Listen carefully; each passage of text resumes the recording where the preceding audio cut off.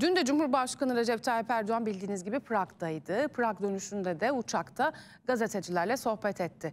CHP'nin başörtüsü teklifi ve sosyal medya düzenlemesine ilişkin de önemli açıklamalarda bulundu.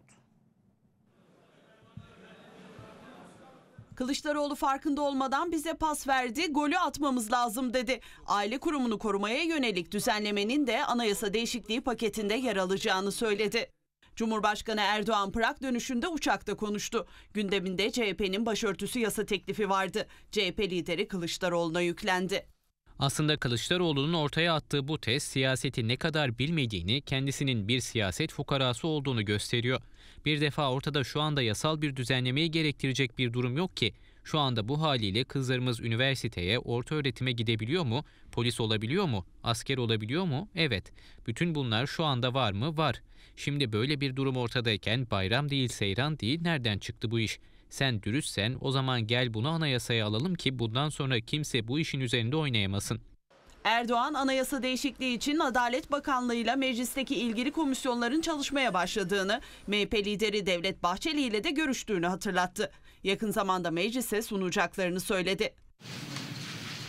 Cumhurbaşkanı Erdoğan'a CHP'nin verdiği teklifin zamanlaması da soruldu. Bizim gündemimizde yoktu dedi.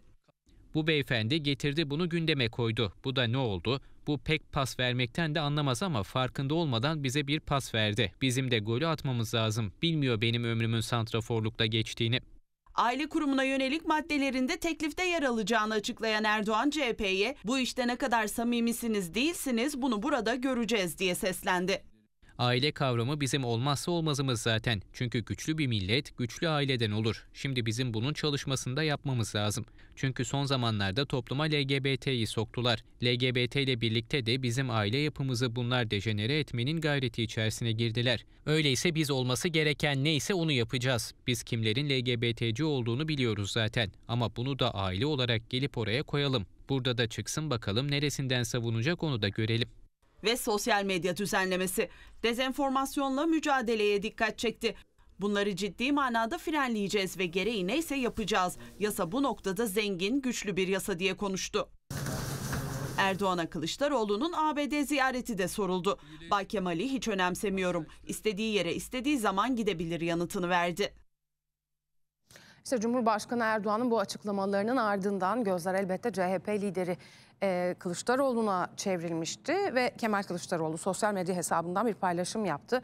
AK Parti'nin teklifine hayır diyeceklerini seçim sonrasına işaret ederek göstermiş oldu. Gelin çözümü yasa değil, anayasa düzeyinde sağlayalım. Erdoğan anayasa çağrısını Kılıçdaroğlu pası verdi, golü atmamız lazımdı diye tanımlamıştı.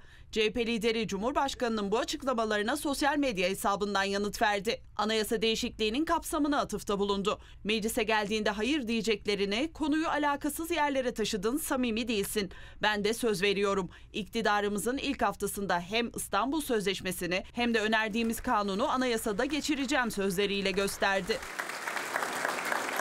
CHP lideri başörtüsü teklifine altılı masadaki iki ortağı Babacan ve Davutoğlu'ndan açık destek almıştı. Ancak Akşener'den kapanmış yaralarla değil kanayan yaralarla uğraşalım çıkışı gelmişti. Kılıçdaroğlu'na teklifin zamanlaması ile ilgili de muhalefet cephesinden çok eleştiri yapılmıştı. Sosyal medya hesabından o eleştirilere de yanıt verdi.